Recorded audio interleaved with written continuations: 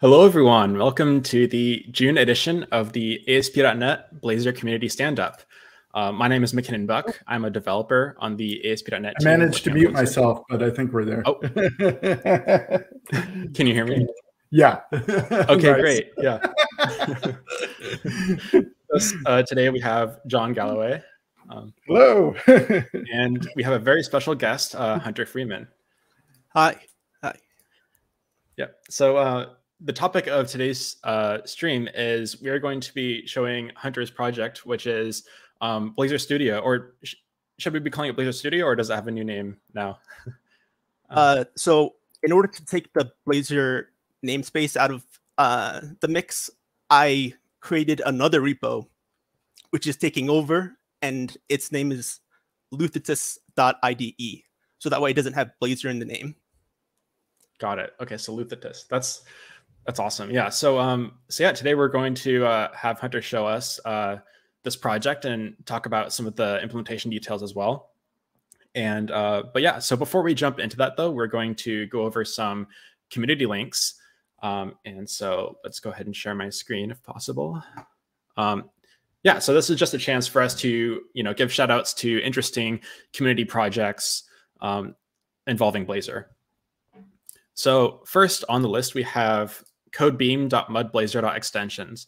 So this is a library that extends MudBlazor with additional components that MudBlazor doesn't have out of the box. So it's really cool. It has a ton of added components if you need something um, maybe a little bit more niche that MudBlazor doesn't come with.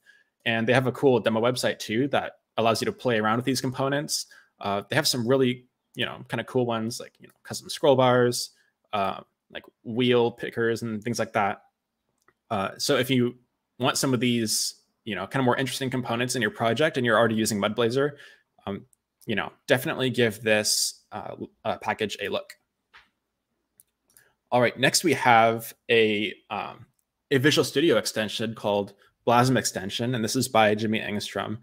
And this is, this just provides like a lot of nice, um, like helper features for Blazor developers. So uh, for example, there's like uh, a right click menu for creating an isolated CSS file or an isolated JavaScript file or a code behind file um, when you right click on a, uh, a Razor component. Uh, and then there are also some other kind of nice refactoring features like moving a code behind file to a Razor uh, to a Razor file and things like that. Um, and then also some you know a shortcut for switching between the code behind file and a Razor file, which I find myself doing a lot. So I think that would be super helpful. Um, so yeah, if you want like an extra productivity boost, definitely check out this Visual Studio extension. All right, next we have a another library by Kristoffer Strube. So this is Blazor.web web audio, which provides like a .NET wrapper around the web audio browser API. Um, Kristoffer has made lots of these uh, types of libraries where um, where you can access like browser features without having to do JavaScript interop. Um, and this is this is another one to add that add to that list. So um, it's I just think it's so cool because there's more and more every day it feels like that you can do using .NET without having to you know dive into JavaScript. Uh, and there's like a cool demo website too. Uh, I'll probably turn on the volume in case uh, you know in case it's too loud.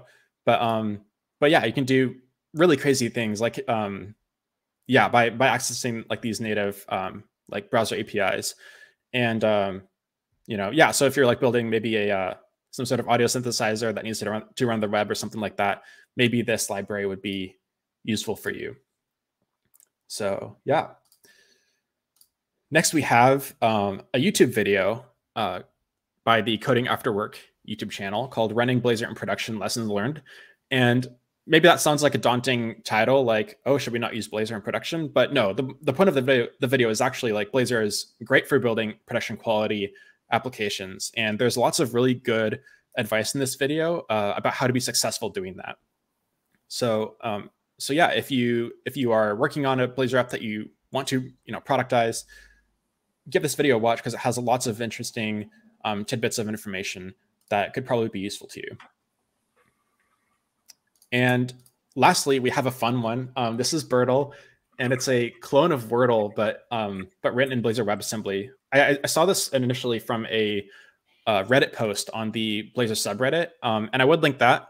But Reddit's kind of undergoing a um, strike kind of right now, so a lot of subreddits have gone private. So I that post would have more information, but it, but we just can't see the post right now. But we have the. App right here. Um, it's basically Wordle, so um, it's but it's written in Blazor. So I I don't know. I, I just thought it was pretty cool. Um, yeah. Uh, I'm, I'm not going to play out the whole game, but yeah, or I could. I don't know. Um, mm. uh, anyways, yeah, that's uh that's about it for the community link. So I think we can transition into the main part of the stream. Um, and uh, so yeah, Hunter, if you want to take it away. Uh, yeah. Uh, hi. Uh, uh, my name is Hunter Freeman, and uh, how do I get my uh, screen to be shared? There it is. There it is. so I'm going to uh, just run Blazor Studio uh, or Luthetus uh, .ide. I have it down on my taskbar. I'm not sure if the, the stream shows my taskbar or not, uh, but I've got just a link. I click on it, it opens up like that. Uh, the first thing that I'll do here is just make a new solution. So file, new, .NET solution. I'll name it Blazor CRUD app. And what I would want to do here is just traverse to the directory that I want to put this SLN in. So I could click up at the top here, and then this becomes an input uh, element so that I can type repos and hit enter, and then it takes me there. Uh, and this thing moves around and whatever. Uh, so I can then pick that I want to put inside of my demos directory this new SLN. So I hit select, it populates the directory uh, input element, and then I hit run. Uh, this then created the solution, and now we can see in the solution explorer over on the left uh, that preview node for the SLN. So I can then go further and create a new C sharp project. So I'll make Blazor CRUD app dot server side. The template for this would be Blazor server. The parent directory, uh, I can go into demos, and I now see my Blazor CRUD app directory was made. So I select it by clicking on it, and then it shows you what you're going to uh, have your path set to down at the bottom of the input file dialog. I hit select, populates the uh, input element, and I get a little preview here of what the command is that's going to be ran. I hit run, and there we go. I have my C sharp project. I can double click on it, and then I get a text editor that showcases the content. And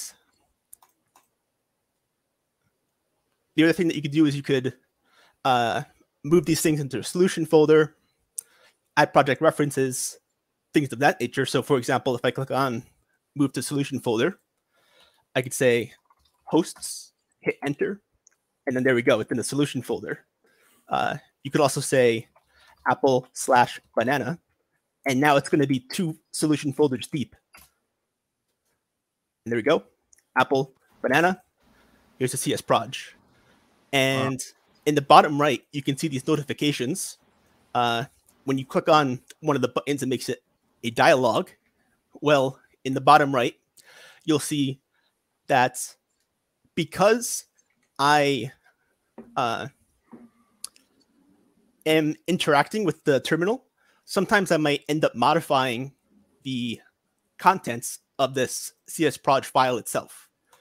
So, for example, I could add a NuGet package, and then you'll see what I'm talking about, where it's going to prompt me to reload the CSproj because its contents have changed.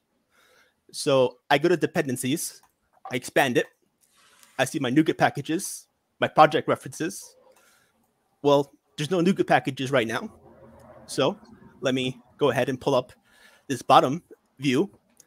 And at the very, very bottom in the bottom left, there's a uh, tab that you can click for either terminal or NuGet.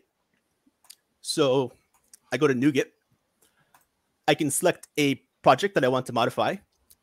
The solution folders seem to be showing as projects.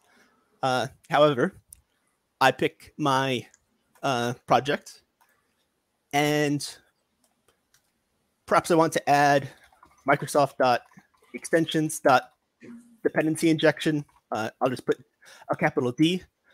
I click submit, and there we go. Uh, we have some output from this website here, the Azure Search USNC. Uh, and it shows you all the versions that you can pick. Uh, you can change that. And then there's the button to actually add that. So I'll click add. And in the bottom right, we'll see the notification. Here it is right here. And then I can click this to make it a dialog, uh, just as it was added to the project, that NuGet package. And as I was saying earlier, the terminal command just modified the contents of this csproj.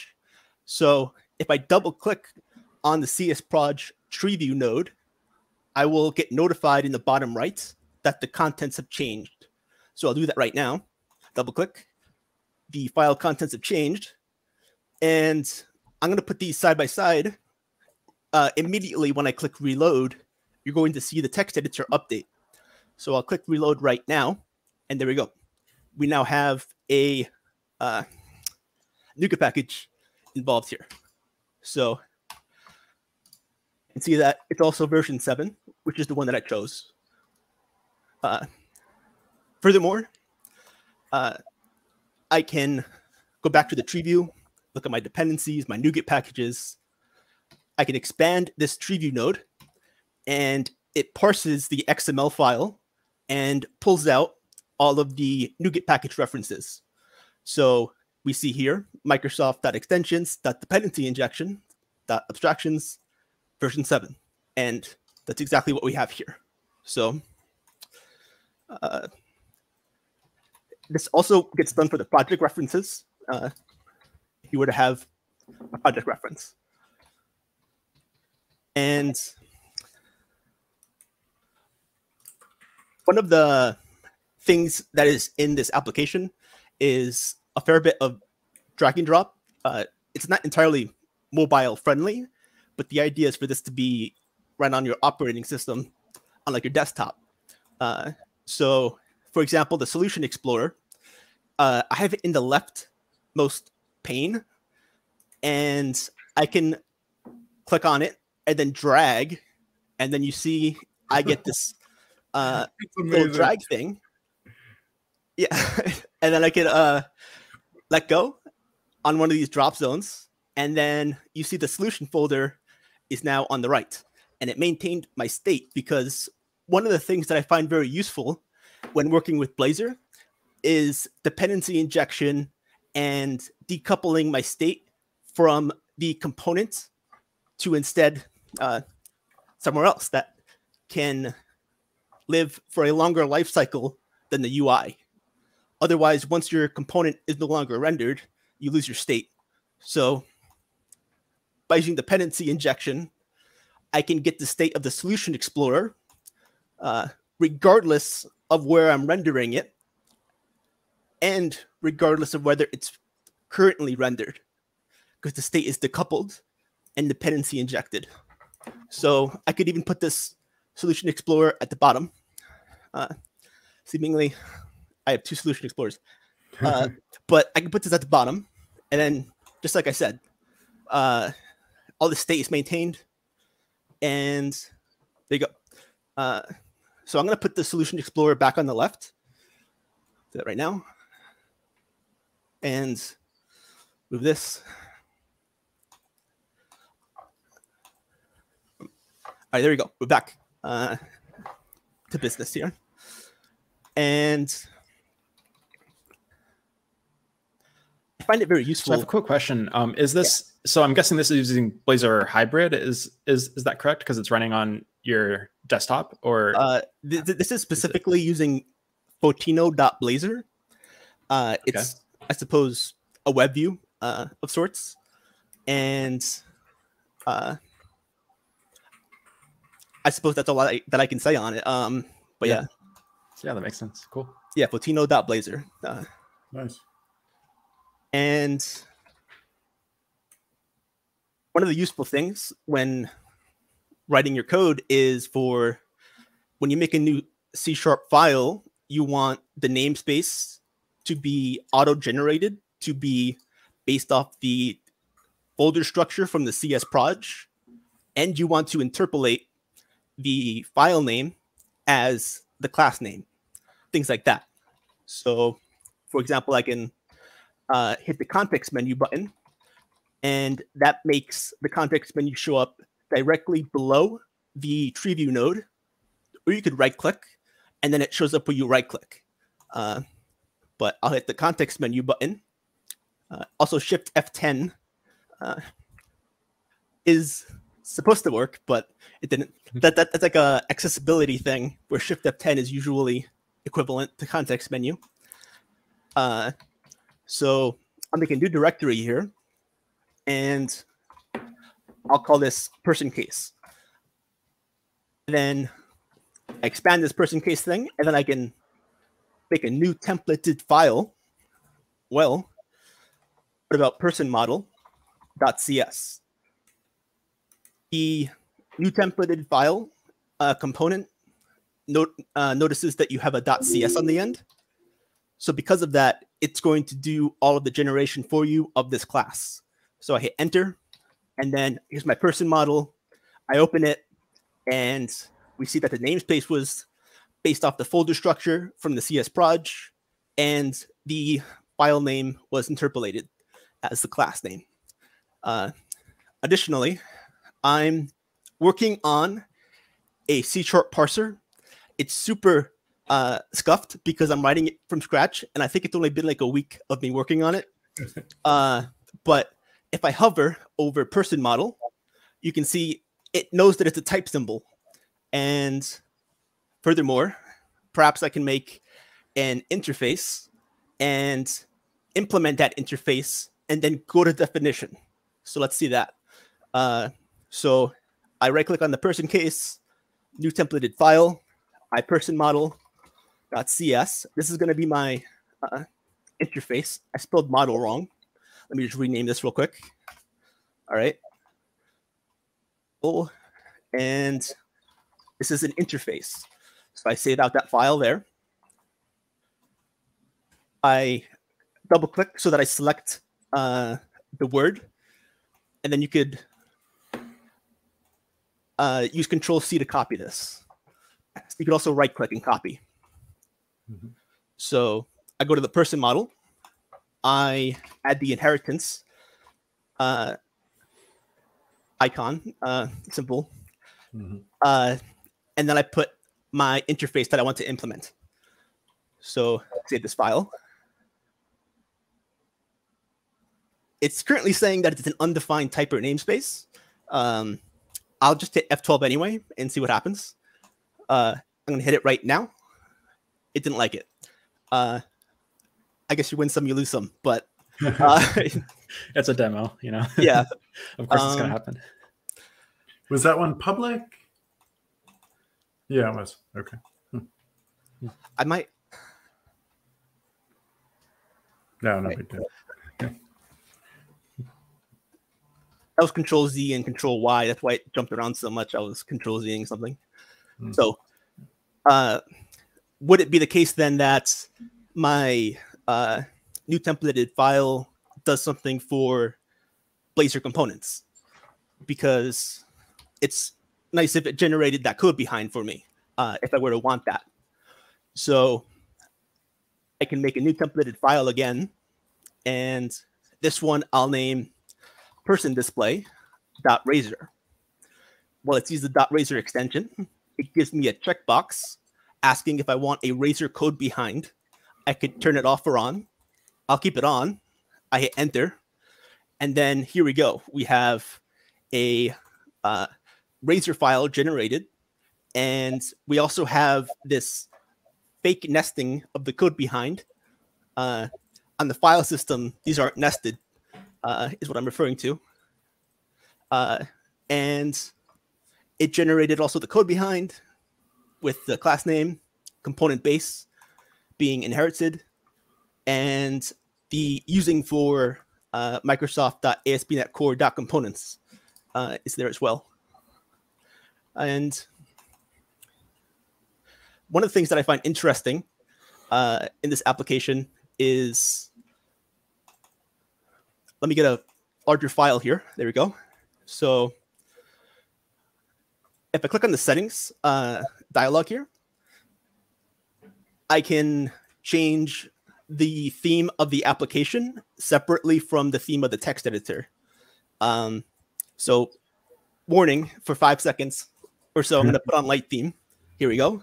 And then you see the entirety of the app changes to light theme, but the text editor didn't change. Nice. Uh, and then I could change the text editor itself, put that to light theme. Uh, and now I'll go back to dark theme. Uh, one of the Content interesting warning, right? was that? Content warning, warning on the theme. Yeah. um, if you want to increase your font size, uh, I think it's really interesting to look at what happens when you just hold down the up arrow because how many states changed are happening there, how much is rendering. Uh, it sounds quite intense. Uh, so it's always a fun thing for me to just hold down the up arrow for the font size. So look at the, te- the text editor on the right here. I hold up the up arrow and I feel like it's pretty smooth. Uh, it was That's not this smooth until like uh, I was going to come on here, and then I s- I spent like an entire day uh, days ago working on it. And Let me ask, what sort of things did you do while you were working on it to make it smooth? I added a throttle. So to me, the definition of throttle is specifically you handle the first event, start a timer, and then Yeah. take the most recent event after the timer finishes, handle that, but throw away the rest. Um, so I've got my iThrottle class. Uh, I can bring that up real quick, actually. Yeah. Uh, perhaps I can show you some of the things, uh, the source code, even. Yeah, that. yeah, definitely. Uh, let's see. Here we I've- are. While you're doing that, I've heard that called debouncing also. I think. Yeah. yeah. yeah. Um, I find that debouncing, uh, to my definition, would be specifically relating to an event ceasing to fire, uh, whereas it was firing in succession. Once it finally stops firing, that's the debounce. Then Got you it. handle that event. Uh, that's how I differentiate. you're just you're throttling the events. You're handling some of them, but not every single. Or, Uh, or you're yeah. slow, you're using a timer to delay it. Yeah, yeah. So in my uh, solution explorer, I'll collapse everything real quick. Uh, I have my website, which is hosted up on GitHub uh, as just a static WASM app. And I have this folder for my libraries, which are separate uh, GitHub repos of mine. All of this is public on my GitHub. And in luthetus.common, I have my throttle that I was using. So I've got this folder named reactive. And if you want a uh, library for this, you could use reactive extensions. Uh, that would that would be a library that you could use, but I wrote my own, I guess, bespoke uh, version of it. And for me, my throttle, as I had said, you want to handle that first event. Uh, so, for example, let me bring up some usages of this throttle so that you can see what it looks like.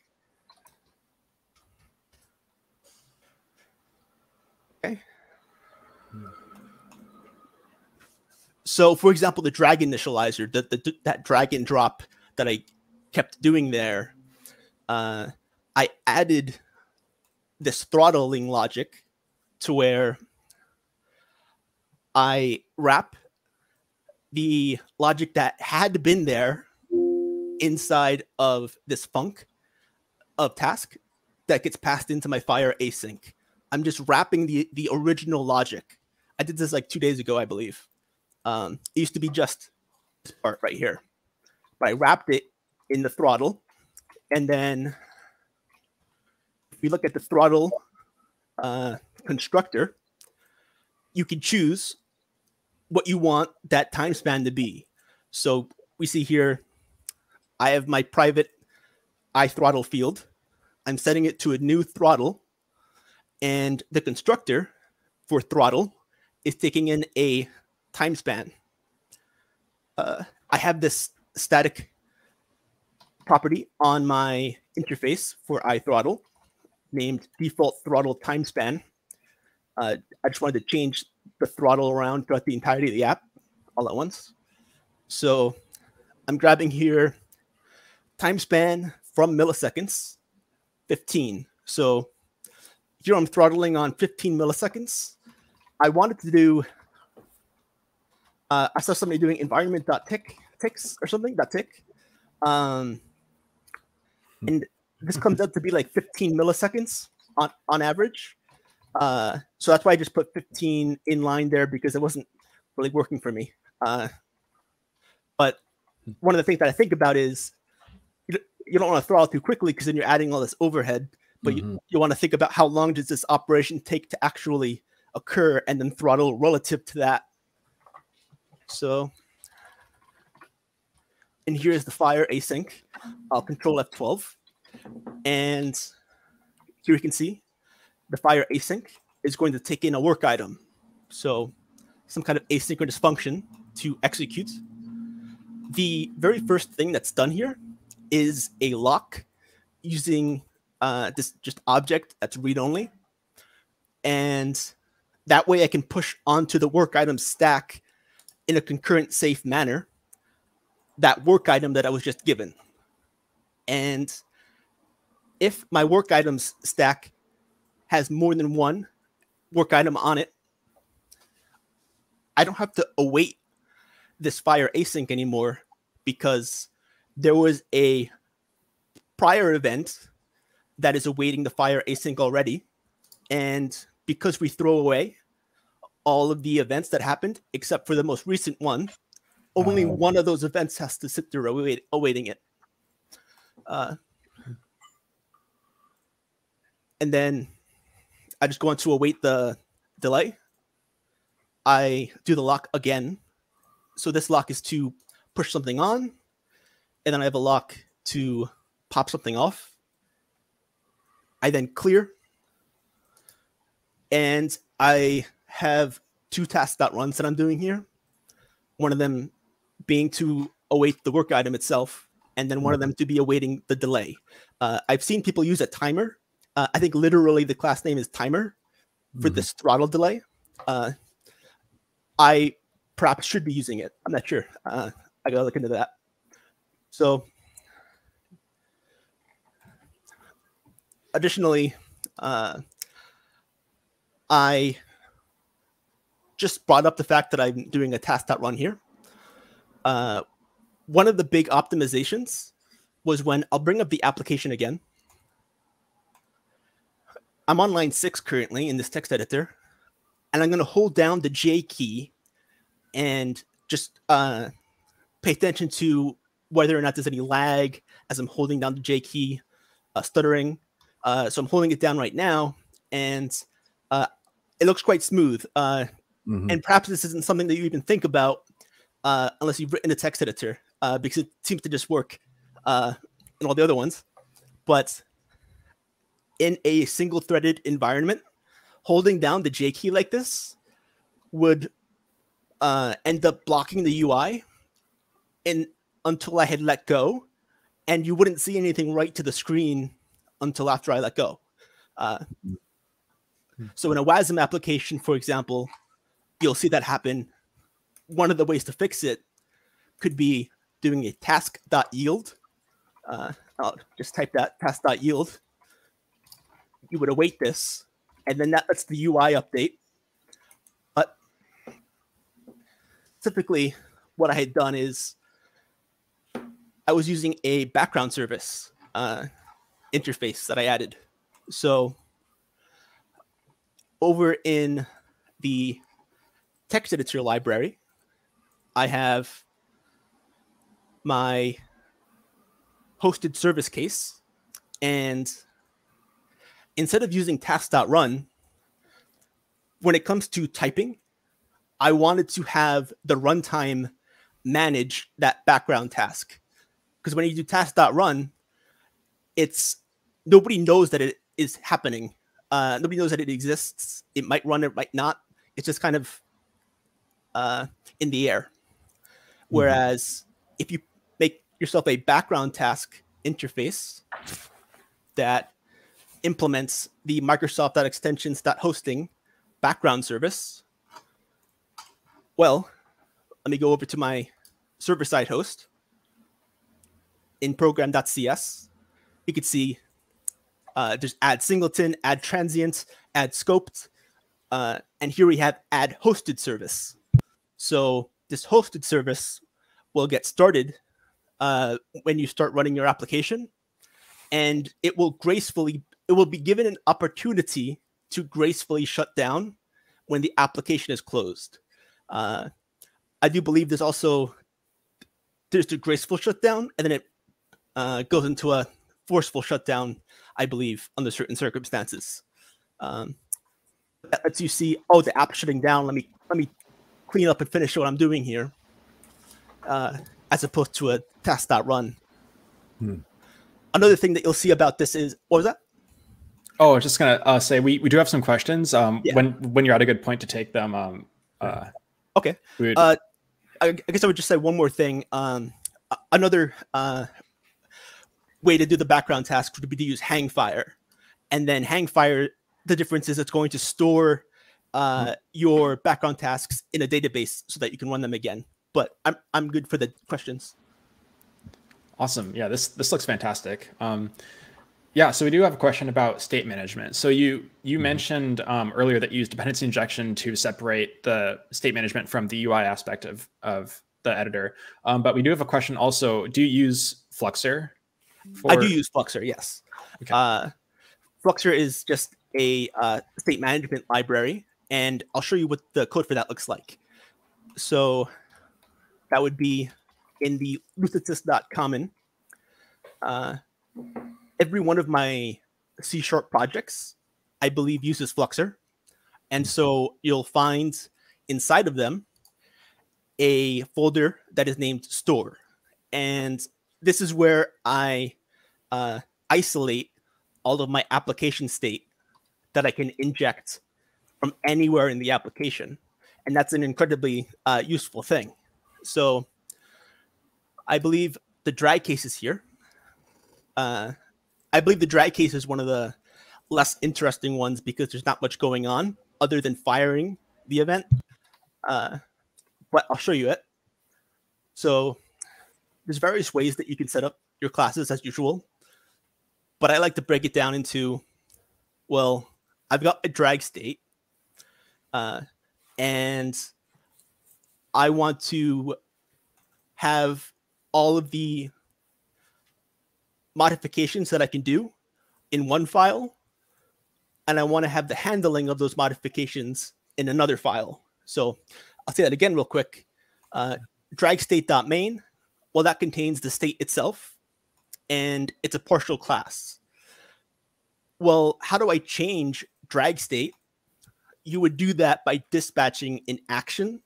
So I have a separate file and then partial class on this drag state I list out all of my actions in here. And then uh, additionally, I have a file for the drag states reducer. And the reducer is a child class of the drag state, and it is private. So one of the useful things with Fluxor is the immutability that is involved in it. So in main, I have a constructor. Uh, this should be private, uh, in my opinion, at least. Uh, I don't know why I didn't make it private, but you could see because this is private, it is literally impossible. Uh, I, well, but yeah, uh, to make an instance of this because it's private. uh, I guess reflection would kind of do stuff. But anyhow, um, this is private. It's super uh, safe. Like if you see drag state, you know where it's coming from. You know the origin of it, and you can track all of the state changes super easily because it's just coming from this one uh, source, this singular source of truth, as they say uh, in Fluxor, that the store is the singular source of truth for all of your state. And so, for that reasoning, I go on to further. I make my reducer a child class on my states, and then I mark them as private. Uh, so again, let me go to main. This is my state. It has a private parameterless constructor. Nobody's going to create an instance of this. My reducer is the one that actually handles the modifications. Well, it's a private child class on the state. Again, nobody can change anything. So, how might uh, someone get around this? Because if you can't change anything, it's not very useful. And the entry point to change something comes from this reducer method attribute. And we see here it's taking in a set drag state action. And here we can see it's listed in my drag state.actions.cs file. So the only way to modify drag state.main is to through the uh, iDispatcher of Fluxor. You do dispatcher.dispatch, and I'll show you an actual line of this code. Uh, then you would pass into it the action you want to dispatch. Let me go ahead and uh, get an actual use case usage of the iDispatcher. Uh, Control Shift F.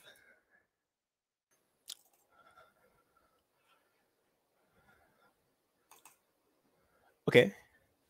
So here's the dialogue service. Uh, you may have seen I kept opening dialogues. I kept converting notifications to dialogues. Well, how is all that done? Uh, I use Fluxor for everything. So I have my dialogue service, which has uh, dependency injected into it, the dispatcher, and Fluxor is going to be the one that had set up this iDispatcher service. Uh, so I then grab that as a field, and I then have these very simple uh, AI, these simple API uh, for very clear operations that you can do. So register dialog record. Uh, that's going to display a dialog. I can pass into here my dialog record that I want to display. It then uses the Fluxor dispatcher to dispatch a register action. Uh, and then it passes in even furthermore that dialog record from the invocation. Uh, I just want to make sure that I'm like is sharing your screen. Okay. um, so if I F12 to the dialog record, this one's a bit, uh, that's a dialog record. Uh, specifically, I had meant uh, the dialog records collection and then we can, we can go to the dialog record from there. So again, I have this three uh, partial class set up so that I isolate my state, my actions, and my reducer. Again, this is public. I don't know why it's public. I usually make them private, I swear. But anyway, um, in here, I have my immutable list of dialog records and we just saw the API for this one, th- this method here, to register a dialog record. So you register a dialog record. The Fluxor dispatcher then goes on to dispatch the register action and that register action will contain your dialog record that you want to render. Uh, I can go on to look at the dialog records collection.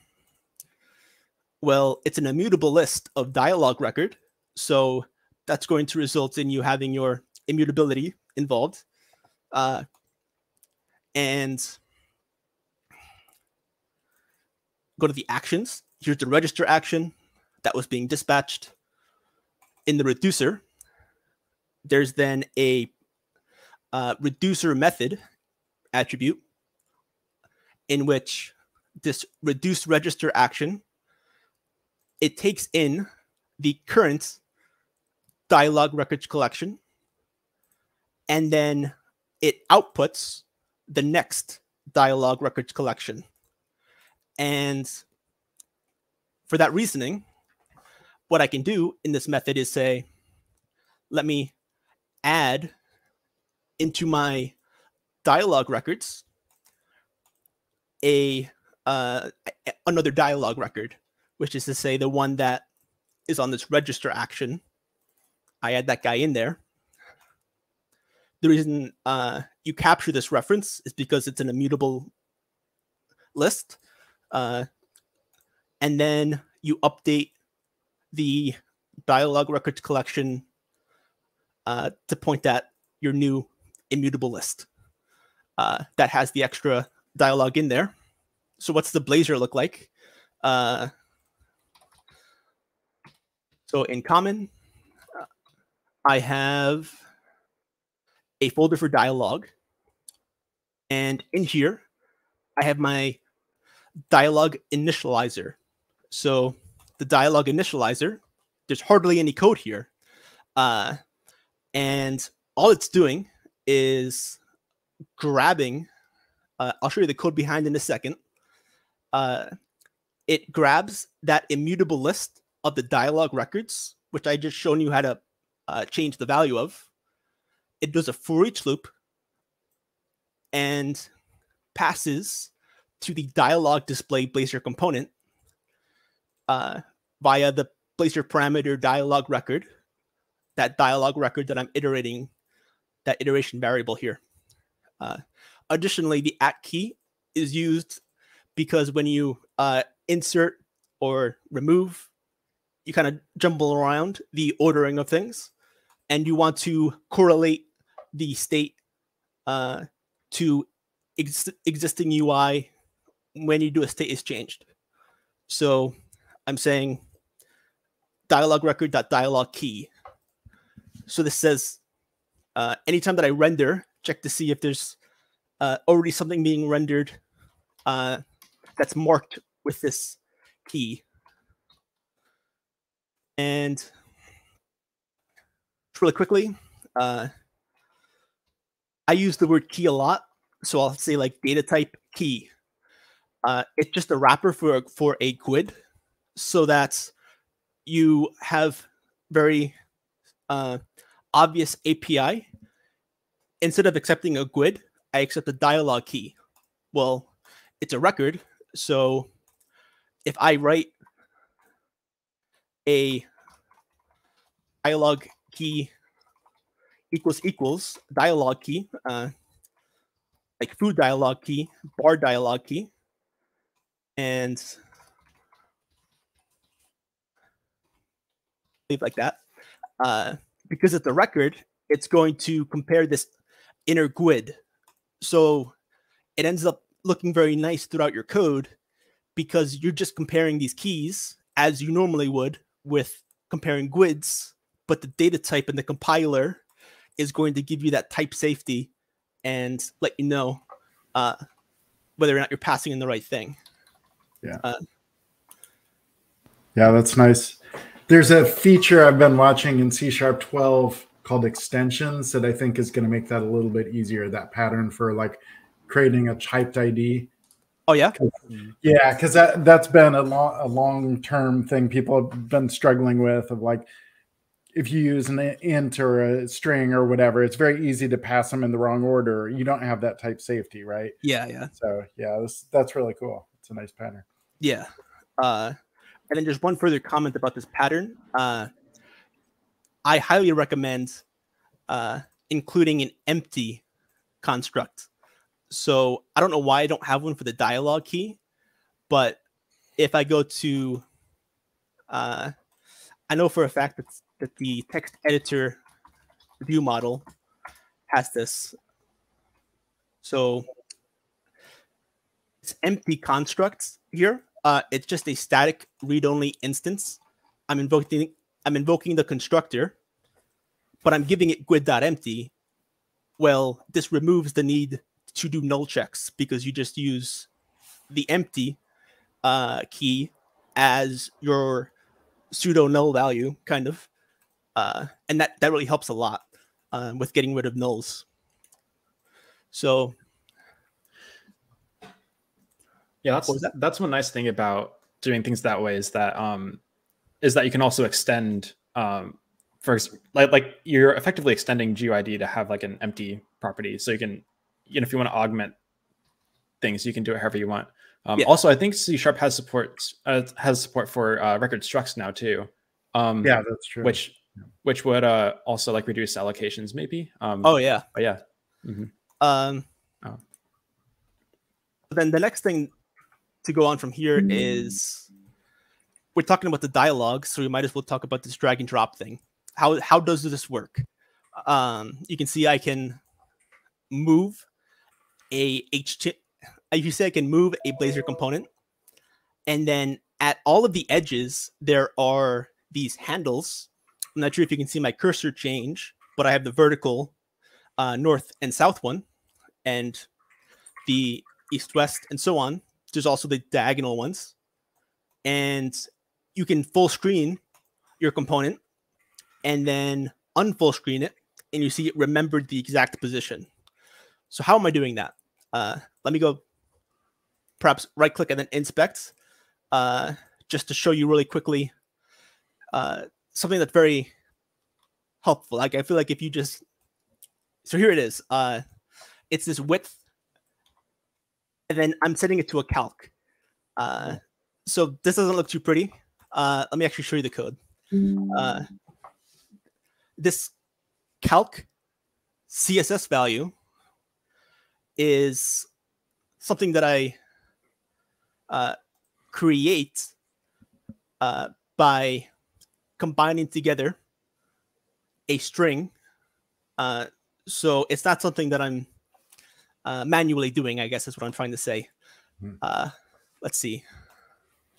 Yeah, I've been wondering about the the whole like layout. There's a lot going on here. Yeah, I'm very curious about that. Uh, all of the logic uh, for sort of drag and drop and such. Hmm. Uh, that is to say, the, the C sharp logic is found in this dimensions folder. So let's see where I am. I'm in luthetus.common.razorlib. Here's my dimensions folder.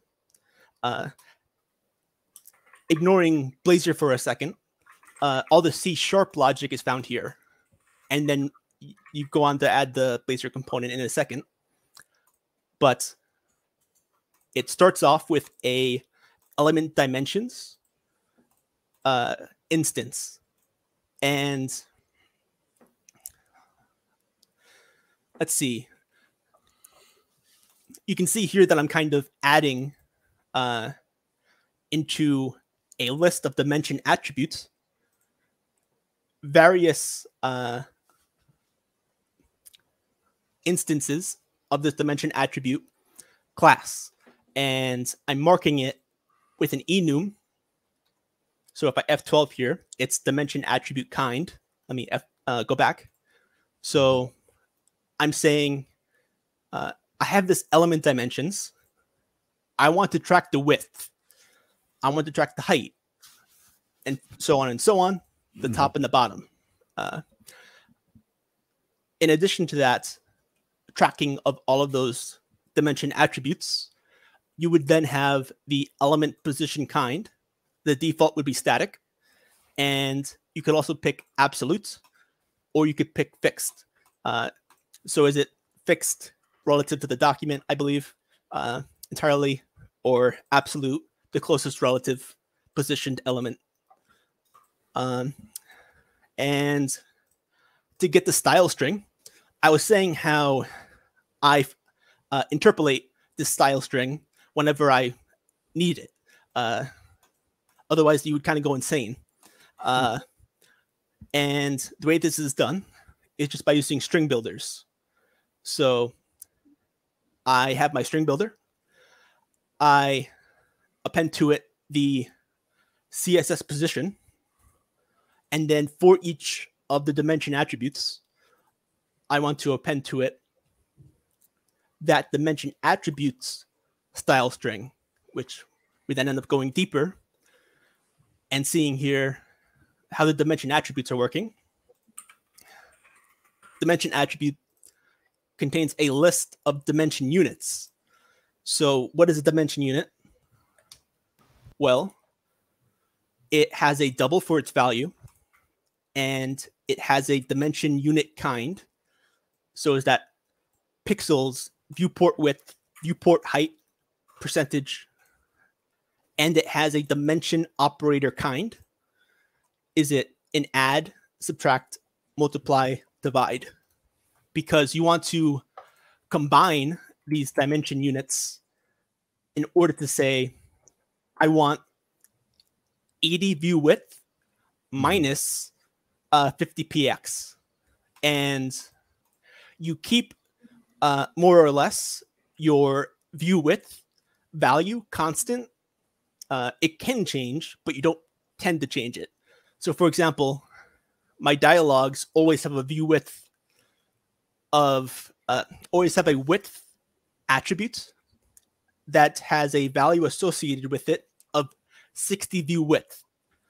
Uh, and then to make it larger or, or smaller, you just do 60 view width minus the diff of the user's cursor when they started moving versus when they stopped.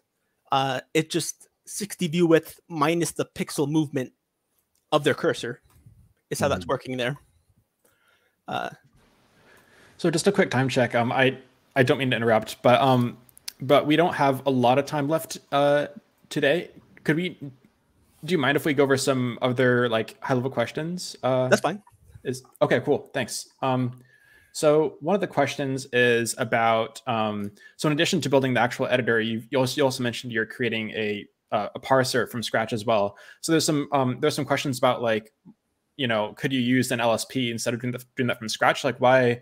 Um, what was your uh, idea behind doing it all yourself, basically? Uh, I didn't want to use an LSP because there's a lot of functionality that you gain from using an LSP but at the same time it is limiting to some degree i feel and so i wanted to do it myself so that i had full uh, freedom to do whatever i want with it and not have to adhere to the protocol uh, the language server protocol and roslyn uh, is great as well but it felt uh, just like there were opinionated things that i didn't really uh, want to go with. So I just went my own way, is all. But they're great, uh, both of those. I'm sure it's also an amazing, like, learning experience to do it all yourself. Um, oh yeah. yeah. And then we have another question. Um, the question is uh, about the broader scope of the project. Um, so how how easy or difficult is it to implement support for new languages? So that comes down to writing. I can actually show you that, show you real quick. Uh, so here I have my uh, luthetus.ide.classlib C sharp project. Inside of there is compiler services. I have some common logic, such as the uh, lexers, the uh, are going to use syntax tokens. So all of my syntax tokens are common logic. Uh, all of my syntax nodes, uh, for example, you have a literal expression node.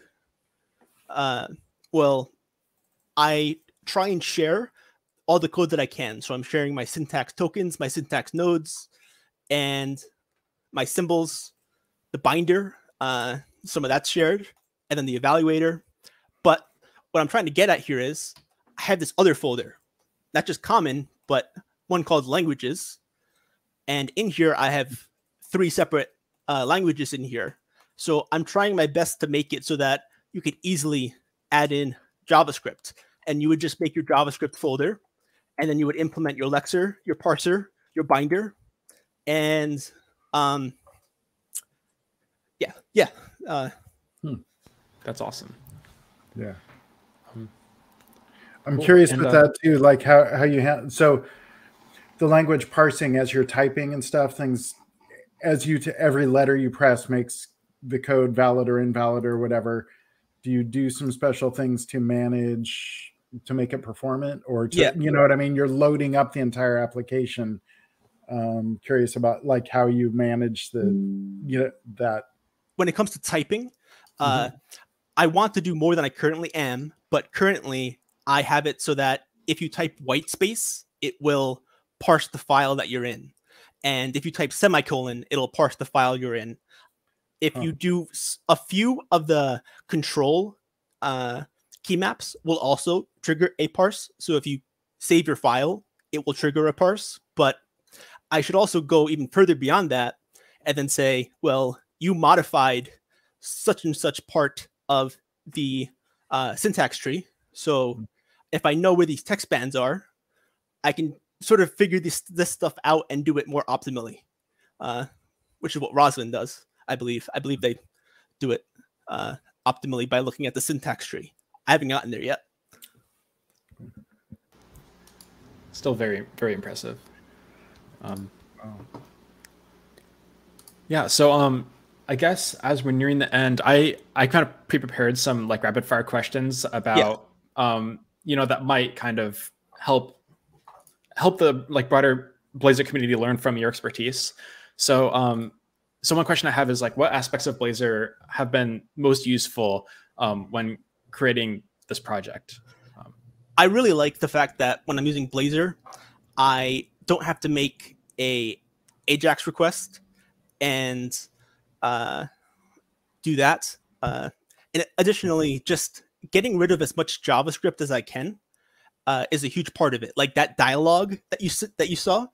Uh, if you wanted to do this in MVC, I would imagine you have to use client-side JavaScript, whereas I get to do all of this in C sharp, and I love it. Uh, it's great uh, for that reasoning. Yeah. Yeah. Awesome. Yeah. Having being able to build interactive websites in C sharp is is is definitely amazing for a .NET developer. Yeah, yeah, um, yeah. Um, so on the opposite side of that, what aspects have been uh, really tricky or challenging um, that others might want to be aware of uh, when it comes to doing an advanced application like this using Blazor? Uh, the most tricky thing for me, uh, like right now during this demo, I got super lucky that nothing froze because what happens is um, Photino is single threaded. And what I'll do is I'll await and end up uh, blocking myself. Uh, it's sort of that configure uh, that uh, await foo dot dot configure await is dot configure await is that it yeah yeah. Uh, and then mm-hmm. false. Uh, that helps mm-hmm. because you don't have to come back. To, I don't know the exact wording. Uh, come back to the Blazor synchronization. Yes, yeah, yeah, yeah. Yeah. Um, the other one would be a task.run. Uh, more preferably than task.run would be your background service uh, doing something with that. Those those three things help. The configure await false, background services, task.run, those are huge. Mm-hmm. Yeah. yeah. Nice. Um, okay, cool. So I guess uh, if if you like what tips would you have for someone who is trying to create a project as ambitious as this one um, other than what you've already shared yeah um, i find it really useful to what you want like best case scenario, you can make a plan and then follow through with it. But when it came to the text editor, I had no idea what to do.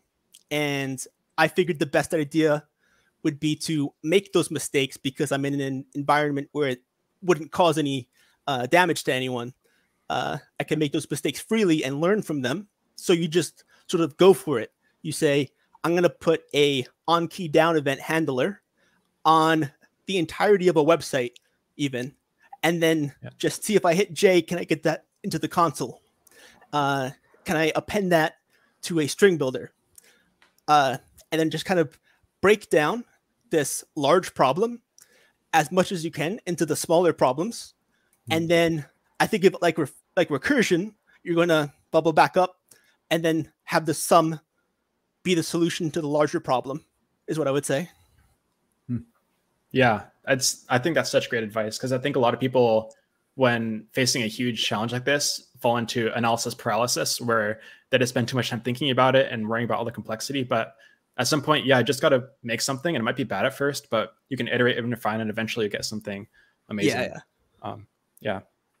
and then uh, last question from me um, if you had to pick one aspect of Blazor Studio that you're most proud of uh, what would it be I would say the text editor because uh, we were just talking about that analysis paralysis and then making something even if it's uh, not exactly perfect. Uh, I've been working on this specific text editor for eight months now. Uh, Blazor Studio as a whole has been one year at this point, but I have an entire year's worth prior to the last year. So, in other words, two years ago is when I started working on this. I spent an entire year getting nowhere and then this last year, everything is kind of starting to click. I uh, and I'm very proud of the fact that I stuck through and did that. Yeah. So cool. That's yeah. Some so many things about any programming task is learning what doesn't work, right? And then you set, settle on you know winning pattern, but a lot of it is like making the mistakes and crossing yeah. them off the list. So there there've been like you showed off amazing stuff with Fluxor and there's a question here would this have been possible without fluxor i mean i would say it would have been it would be possible without fluxor it's just that i would end up personally writing fluxor myself mm. uh, yeah. because it's all about just uh, it like blazor studio i mean specifically is just about uh, dependency injection immutability uh, some concurrency is involved so mm. i would just end up writing that uh, is all it would be.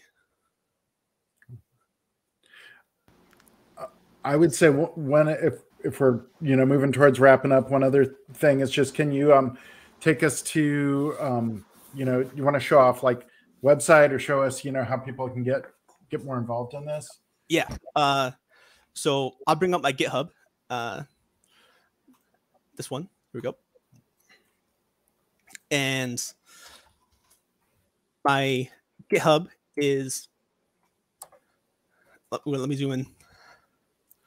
My GitHub you can see here is Luthetus, and on my profile, I have a few things here. The first thing is a link to a demo. So I'll open that up real quick. I just control clicked it, open it up over here. And uh, this does not run on mobile right now, by the way. It, it literally crashes immediately. Uh, that being said, though, if you're on a desktop, uh, you can get this open here, and it's got this drag and drop related things that I was just showing you in the Photino application. Uh, in addition to that, very interesting to me is the semantic uh, explorer. So, for example, I can go. Remember, I was trying to go to definition. I'll show you it right now. Hopefully, it works uh, because I have the iPerson model right here well, it sees the identifier token. It sees this is a bug. It shouldn't say compilation unit, uh, but I can then see the person model. I double click on the identifier token, and you'll see the file will open. It opens right now, uh, and then I'll click on the uh, interface. I hit F12 right now, and there we go. It worked. Hmm. Uh, so that's really cool. Uh, but this is my GitHub. Uh, previously, I was Hunter C. Freeman uh, I moved my things so that it didn't have the Blazor namespace in it.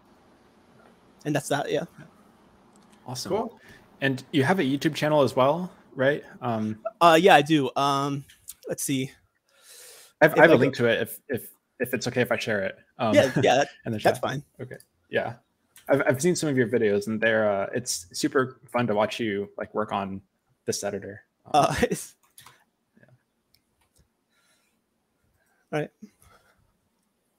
Cool.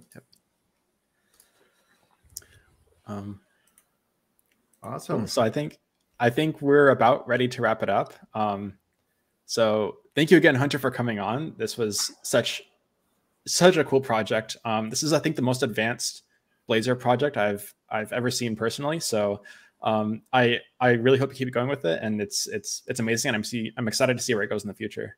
oh, cool. Um, Thank you guys for bringing me on. Yeah. Yeah. Thank you. Thank you for for showing it off. Very inspiring, and and uh, you know, thanks for sharing the patterns and things that have worked for you too. Yeah. Yeah, Very for cool. sure.